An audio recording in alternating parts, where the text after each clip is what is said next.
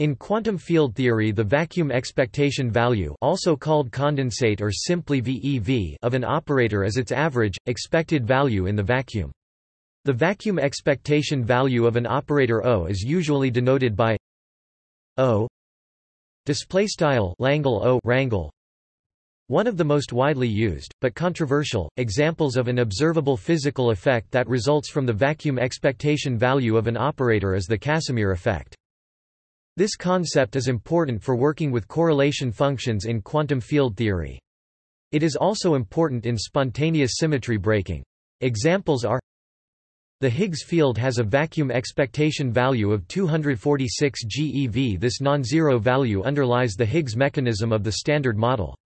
This value is given by V equals 1 2 G F 0 equals 2 m w g approximately equals 246.22 g e v Display style v equals one sqrt sqrt two g underscore f caret zero equals two m underscore w per gram, approximately two hundred forty six point two two erm GeV, where mw is the mass of the W boson.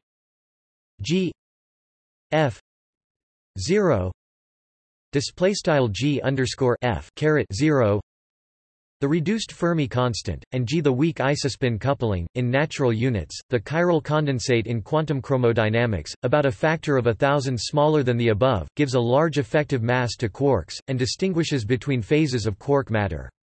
This underlies the bulk of the mass of most hadrons. The gluon condensate in quantum chromodynamics may also be partly responsible for masses of hadrons. The observed Lorentz invariance of spacetime allows only the formation of condensates which are Lorentz scalars and have vanishing charge. Thus fermion condensates must be of the form psi psi display style Langle overline psi psi rangle where psi is the fermion field.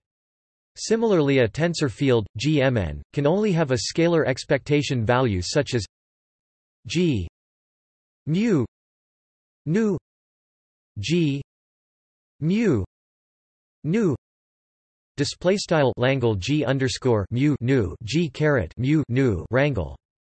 In some vacua of string theory, however, non-scalar condensates are found. If these describe our universe, then Lorentz symmetry violation may be observable.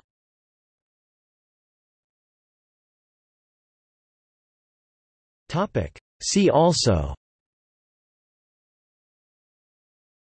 Wightman axioms and correlation function quantum field theory. Vacuum energy or dark energy. Spontaneous symmetry breaking